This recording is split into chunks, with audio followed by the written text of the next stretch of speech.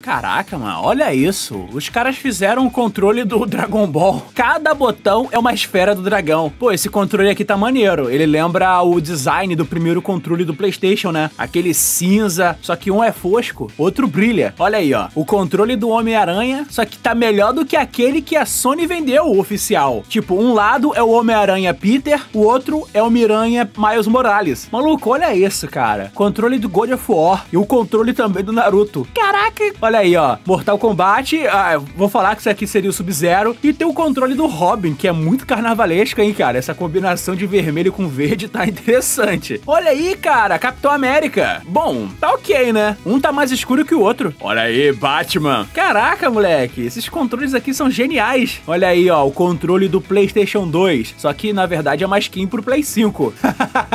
o Coringa, moleque. Pô, tá maneiro esses controles. Ih, rapaz, o controlinho do Venom. Caraca, moleque, é o controle do Deadpool. É, é sem graça, mas, pô, curti. Caraca, aí, o controle do Gotham Knights com certeza tá melhor que o jogo. Olha o detalhe no, no botão. Cada botão tem uma logo do Robin, Batgirl, Asa Noturna e o Capuz Vermelho. Olha aí, cara, controle do Superman, Homem de Ferro, Capitão América, Homem de Ferro de novo e ainda tem o controle de ouro 24 quilates. Deve custar uma fortuna.